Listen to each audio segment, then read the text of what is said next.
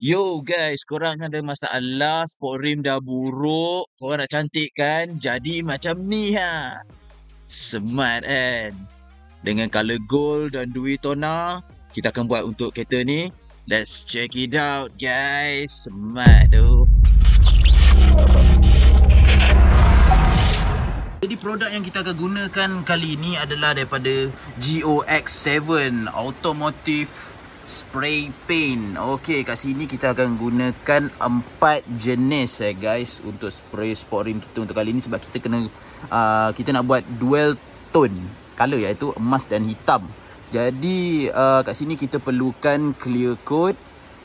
Okey, kita perlukan primer. Kita perlukan gold gun metal dan juga high gloss black ni, black piano. So, kita akan gunakan produk GOX7 ni, GOX7 ni untuk spray kita punya sport rim lah. And kalau uh, okay, saya punya kereta tu sport rim ni size 15 and untuk setiap ni, setiap spray ni dalam 3 tin lah. So, setiap di 3 tin, 3 tin, 3 tin, 3 tin sudah cukup untuk buat 4 tayar untuk size 15. And let's go. Kita tengok apa proses-proses dia. Let's check it out. Okey, mula-mula kita kena buka lah tayar ni. Kita kena buka empat-empat nut yang ada menggunakan impact cordless ni eh. Okey. Kita buka semua. Okey guys, ini adalah tayar yang telah dicabut and asalnya di sini ada cap dia kan. Saya dah buka dah cap dia. Cap dia ni tengah-tengah ni just tolak dia daripada dalam ni. Tolak lah pakai apa-apa kan batang uh, apa screwdriver ke apa. Just tonjol lah, pop dia akan tercabut. Okay guys. Sekarang kita nak buang cat dia ni. Pasal apa? Sebenarnya kalau nak ikutkan cat ni um, Kalau korang Tak nak renyah lah buat kerja kan Leceh korang boleh gosok je. Tapi disebabkan saya punya ni dah macam Nampak tak ada chip ni. Dah dah Kopik-kopik catnya. Jadi saya rasa lebih baik saya gunakan Pen removal. Ini adalah pen removal. Uh, Harga tak mahal dalam 20 lebih macam tu lah. Boleh dapatkan di kedai hardware So korang letakkan uh, dalam bekas macam ni Tuangkan And then korang sapu je. Sapu macam ni. Hati-hati eh jangan kena tangan eh Pasal benda ni dia pedih sikit tau. So pastikan gunakan sarung tangan. Kalau boleh sarung tangan yang tebal sikit lah. Uh. Korang boleh nampak cat tu dah start mengelupas eh bila kita sapu. So uh, just sapu Mana yang dah start mengelupas tu korang boleh kikis lah. Hmm gitu guys. Habis semua cat tanggal. Kita kena ulang proses ni 2-3 kali jugalah Supaya uh, cat ni ada beberapa layer kan. Mungkin yang Tertanggal hanyalah bahagian atas saja And terdapat lagi dia punya primer dan sebagainya tu Kita kena Apply lagi lah. Apply lagi. Sampai nampak bersih Pastikan bersih eh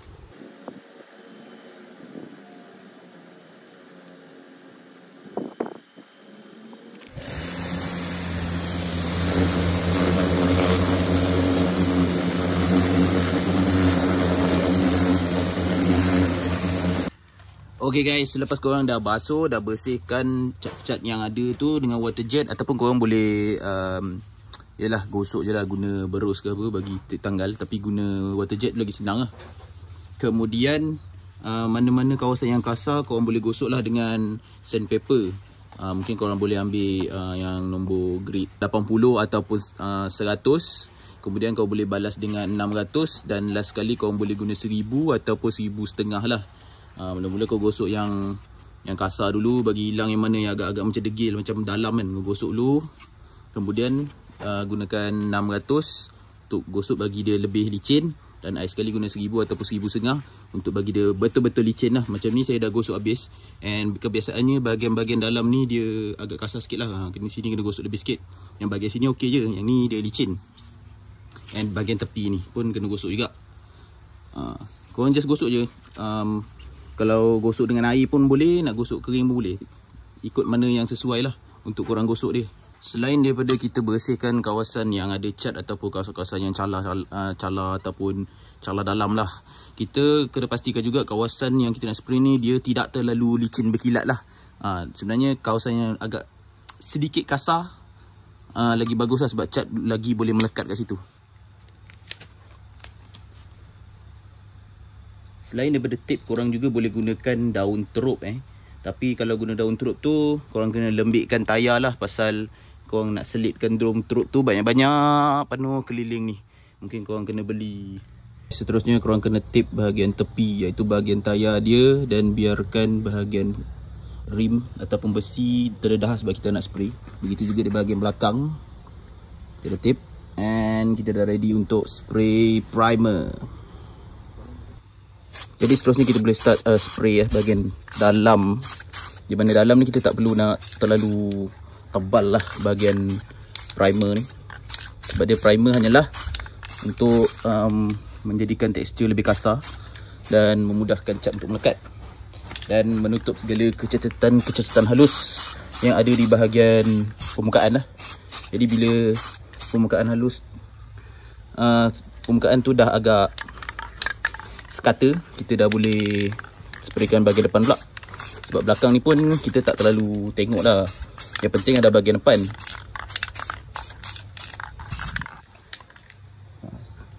Asalkan nampak colour dia dah sekata itu dah membadai lah untuk bahagian belakang.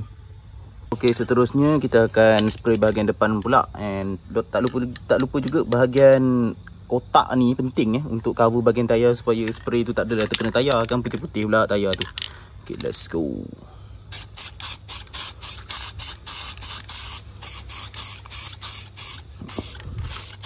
Ha, bahagian hadapan ni kita perlu lebih uh, mungkin kena buat beberapa layer lah sebab uh, kita kena cantik sikit bahagian depan ni. Pasal depan ni lah di mana bahagian yang terdedah eh. Senang nampak. So kalau ada kecacatan akan mengakibatkan kereta anda terikut cacat juga. Okay guys, sekarang kita dah spray primer dan primer pun dah kering. Jadi kita dah boleh start untuk uh, spray warna lah. Tapi disebabkan saya buat dual, dual tona untuk sport rim ni. Jadi saya nak buat depan ni warna gold. And belah dalam tu warna hitam. Dan tapi terpulang lah untuk korang kalau macam mana korang nak buat tona tu. Mungkin korang nak buat depan hitam dalam gold pun boleh, tak ada isu. So kat sini saya nak tunjukkan macam mana kita nak buat dua tona tu.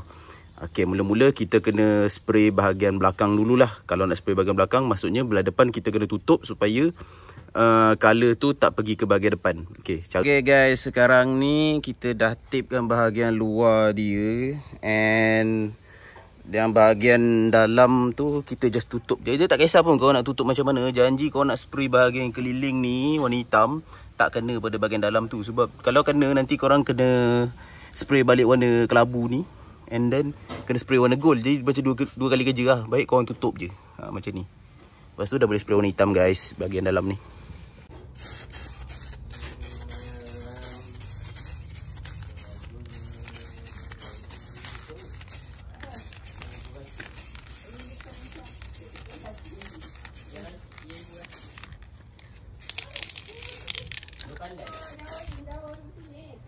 Okay guys, sekarang dah kering dia punya ni.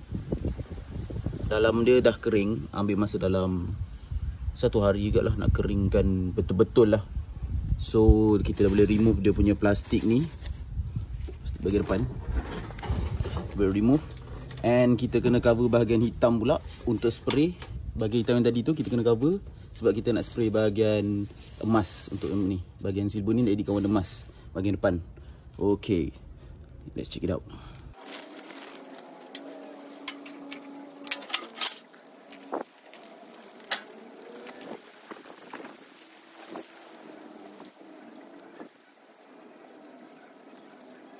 Guys, sekarang kita dah tipkan bahagian luar ni, bahagian dalam ni.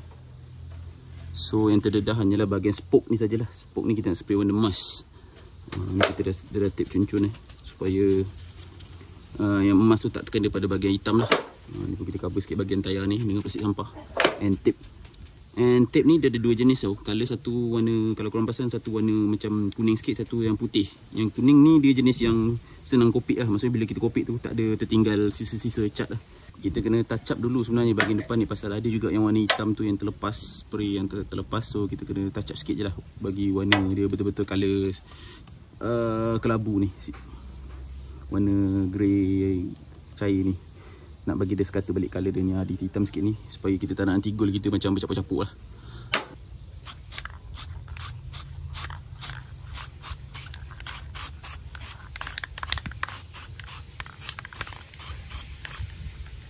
Okey lepas dah settle tu kita terbalikkan dia. Kita akan spray gunakan gold gun metal lah. And nak bagi tahu juga um, untuk jarak layer by layer tu dia uh, dalam beberapa minit je lah 5 ke 10 minit macam tu je lah. Uh, jarak antara layer tu. Uh. Okey guys ini adalah cap kepada uh, penutup eh. Penutup um, sport rim ni yang tengah dia luar dia ada penutup. So ini adalah penutup dia. Asal dia colour dia macam ni guys dalam dia. Tapi dia dah kotor apa dah cat dah tak cun lah. Aku dah spray balik guna uh, GOG 7 ni spray ni. Uh, Korang tengok dia punya colour dia Ini baru spray uh, primer Lepas tu colour hitam Tapi dia punya berkilat dia Ni belum clear lagi ni Kalau letak clear lagi berkilat ni Nanti aku try letak clear Kita tengok apa hasil dia tips untuk spray menggunakan GOG 7 ya. So kalau korang tengok kat sini dia punya muncung tu ni, dia ada arrow. Okey, kalau korang tengok betul-betul, arrow dia macam kiri kanan. So dia akan kembang dia tu, kembang macam ni. Mengembang kiri kanan. Ha, kalau korang pusingkan dia macam ni. Ha, pusingkan dia macam ni. Ha, so akan dia kembang dia tu atas bawah. Ha, ini specialnya GOG 7 punya spray, tin dia tu dia punya penutup dia ni boleh adjust kau nak kembang macam ni spray kembang macam ni ataupun kembang macam ni dia punya spray dia cover penting guys kalau tak tayar pun jadi silver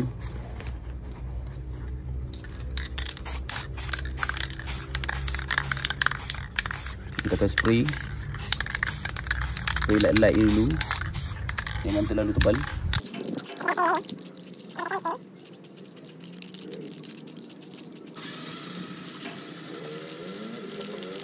Okay, kita dah spray untuk second layers.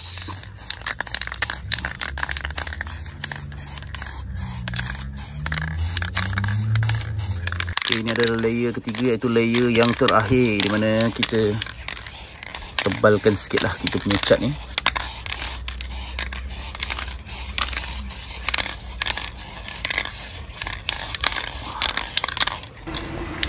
Okay guys, lepas tu kita akan buka dia punya plastik cover ni. Lepas tu kita akan spray bahagian dalam ni dengan warna clear lah. Okay guys, sekarang kita akan spray clear coat bahagian hadapan pula Spray light dulu, kita buat dalam 3 layer juga Okay, kita akan buat first layer spray clear Second layer spray clear Dan third layer spray clear.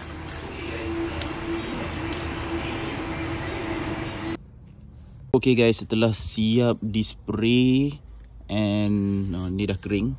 Sehari jugalah untuk keringkan fully kering dia punya clear tu.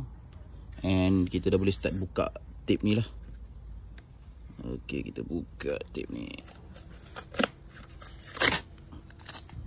Kemudian kita pasang cap dia ni. Ha, ini yang sebelum berlapuk dan tak cantik langsung. Ha, ini dia guys, selepas dia. Ha, macam cun kan. Dengan kilatnya, dengan gold, hitam. Combination yang terbaik.